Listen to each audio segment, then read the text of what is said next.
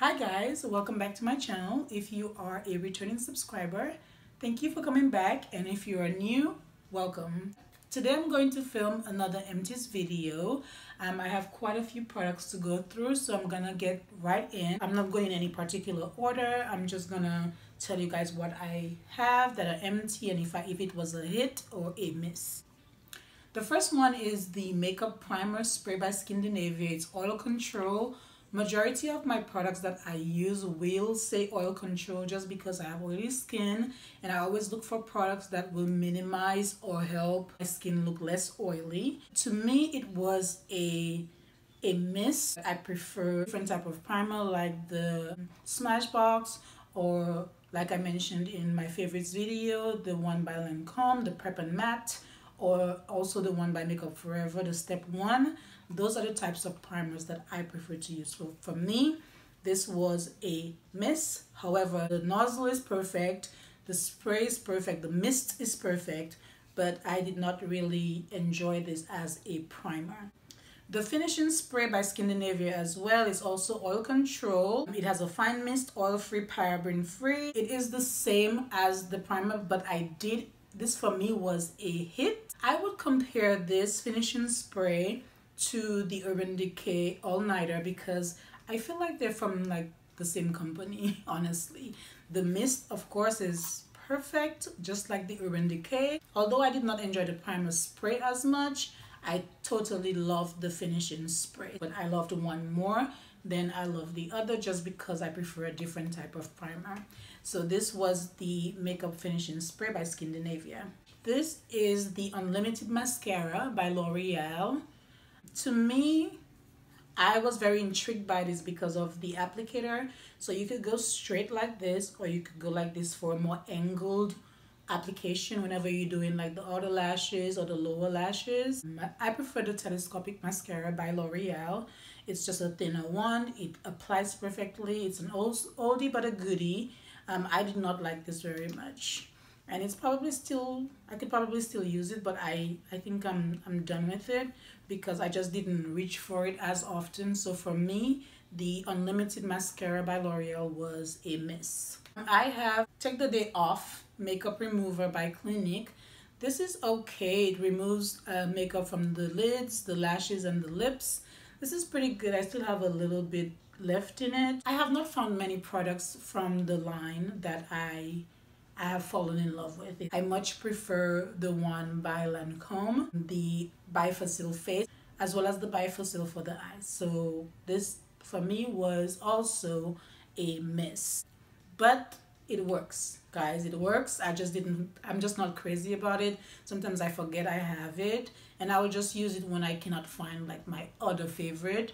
Um, it is, it works. It does what it says or it claims to do. I just don't reach for it as often as I reach for my other ones. Okay, here we have the Always On in the shade Out Loud by Smashbox. I have it on right now because I literally scraped inside so I could get this look. Mm, but the shade is beautiful. As you can see, very, very pigmented. I will be repurchasing this in the future. All the lipsticks from Smashbox are especially in this line, the always on. They are stunning. This for me was an absolute hit and I would definitely repurchase this again. This is the Cils Booster by Lancome. This is a primer, an eye primer. It is it is a Lancome staple. It goes on white, like it takes forever to finish, first of all. It goes on white like this and then you go in immediately after you apply the Cils Booster with your mascara. Makes the eyelashes fuller and thicker looking because I barely have any visible. I tend to have a more defined lower lash um, situation going on. So the Cils Booster by Lancome, um, very good, always a staple. It takes forever to finish and I, for me, this is a hit. No surprise.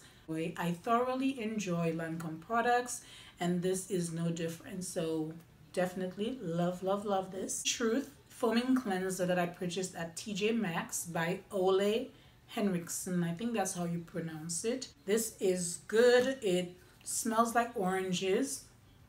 So refreshing. Like this is a great cleanser. To me, it was a hit. I enjoyed putting it on my face because whenever I cleansed my face, an instant burst of freshness, you know, because it's the citrusy scent that it has. It's amazing. Love this. Definitely a hit. The next empty that I have is by Shea Moisture. This is the Fruit Fusion Coconut Water Weightless Shampoo um, with Imbe or Imbi oil and aloe. It's lightweight hydration for fine, wavy, curly hair. This is okay. I enjoy the Shea Moisture line. The general ingredients are the same, give or take a few. I love Shea Moisture. It works every time. It didn't do anything revolutionary for me, but it was good. So for me, it was a hit. I like this. I don't love it. I like it. I love Shea Moisture. There are no sulfates, no paraben, no propylene, no mineral oil, no animal testing. I mean, you cannot go wrong with using this product because it's very, it's not harsh on the hair, it's not over drying, it is gentle and it, it cleanses, it works, love it. This is the Go Fresh by Dove. Very refreshing. I use this all summer because i just prefer using something that's lightweight in a spray form during the summer. I have since purchased my um, two replacements because i just prefer using this as opposed to the deodorant gel applicator but i use it sometimes as well. I love this so much. To me it is a hit because it works it smells great it keeps me dry i enjoy using it I love this thing so much. This is the Rehydration Treatment Mask. This one is with coconut oil and Acacia Senegal for all hair types and it has 100% virgin coconut oil. I love deep conditioning my hair at least once a week. I try to at least once a week. After I shampoo, I put this in, put on a shower cap or a conditioning cap. I sit for about 20 minutes, more, more or less, and make sure that my hair absorbs the product. As you can see, I definitely used every single drop of this mask. And I am I'm very I go very heavy when I use it. So I, I do not go with a light hand, y'all. I love using this. It works it the hair feels great. It looks healthy after application. So once a week might be a lot for some people, but I do have problematic scalp and so I have to shampoo pretty often. And whenever I do, I try to make sure I deep condition because it's good for the hair and um, it keeps it nice and healthy and bouncy. And I'm talking about my short natural hair, so love this. This is the Jamaican Black Castor Oil Strengthen and Restore Conditioner. This is very good. I love how this feels after a shampoo when I'm not deep conditioning I go in with the conditioner. It doesn't really matter which one I use because I'm not very picky about staying to sticking to one specific line. I use whichever whenever I will just grab and go sometimes. I got this one also at TJ Maxx. It has shea butter, peppermint, and apple cider vinegar. It feels good. The Jamaican black castor oil in there also, I feel like it helps in um, helps restore the natural state of my hair. It is restorative. I think I enjoy this more so as the conditioner than the rehydrating treatment mask because of how my hair feels. For me, did I say that this was a hit? This was a hit and this is definitely absolutely a hit for me. I love it so much. Shea Moisture never disappoints. I have one body wash, moisturizing body wash by Bath Body Works the gingham. This one has shea butter and cocoa butter. It's very moisturizing in the shower. To me, this was a hit. I feel like I'm winded, y'all.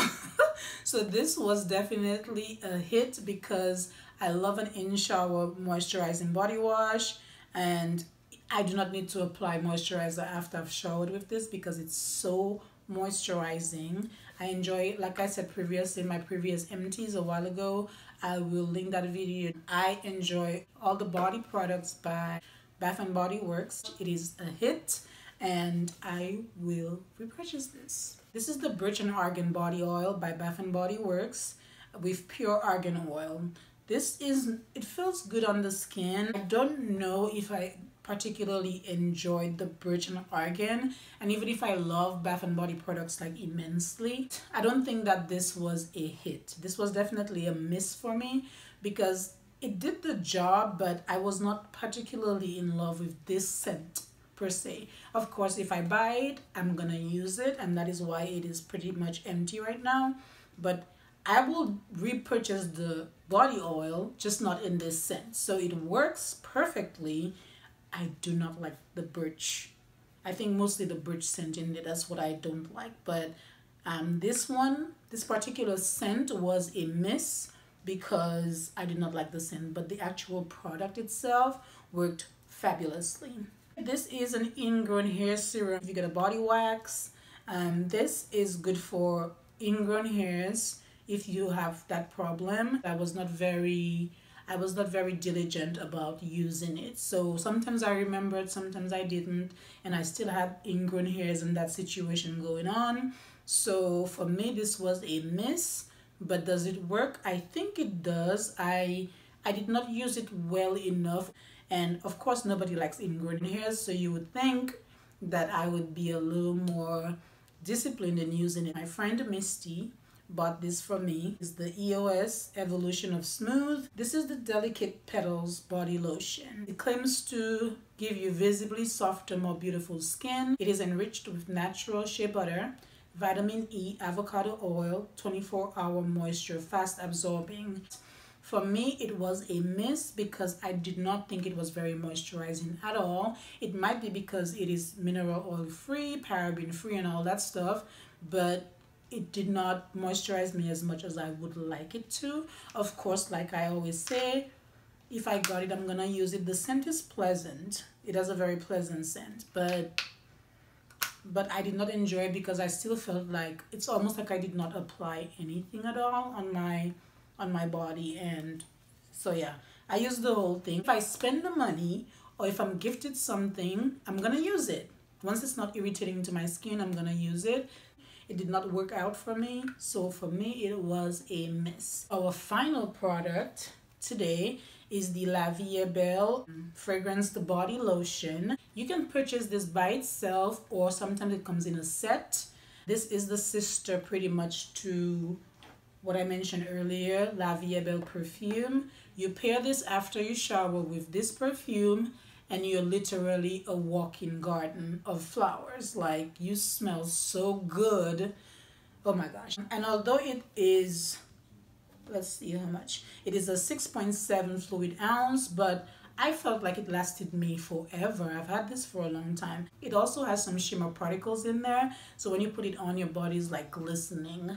I love this so much. No surprise because it smells exactly like the La Vie Belle perfume Eau de Parfum this is a beautiful fragrance lotion. You will love it. Avia Belle Lait de Parfum Nutritif Nourishing Fragrance Body Lotion is definitely a hit because I loved it. I used every drop of it. And I also like the bonus shimmer particles in there because it just makes you look, you know, like you just glow. Yeah, you get this inner glow. So love, love, love this that is it guys. I think i ran through that because i was talking so fast. Um, but i hope you enjoyed the video. The look i'm wearing on my eyes today this is the actual look i did for my no mirror makeup challenge. Today i used the mirror obviously but i just wanted to use the same colors that i used then because of this sweater. I thought it would go very well with that. So very fall appropriate. Um, again thank you so much for watching. As always and um, don't forget to like, share, and subscribe.